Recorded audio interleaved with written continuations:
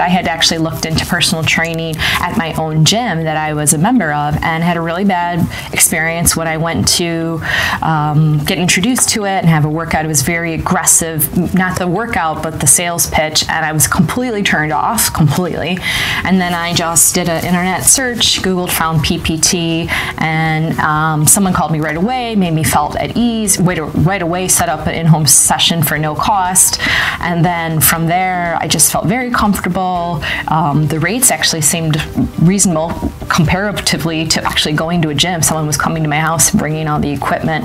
And so I've been really, really happy that um, I found them and that I've been working with them for several years now. When I first came to PPT, my initial goal was to lose weight and um, get more tone for my wedding. I was getting married about, um, I think, six months later from, from when I came to PPT. And they absolutely helped me accomplish that. Um, I probably lost about 25 pounds and um, several percentage points in body fat and um, looked great and felt great on my wedding. And then I, um, after I got married, I did continue with PPT um, and just to maintain that, you know, healthy, you know, lifestyle and, and look, I've been very happy with it.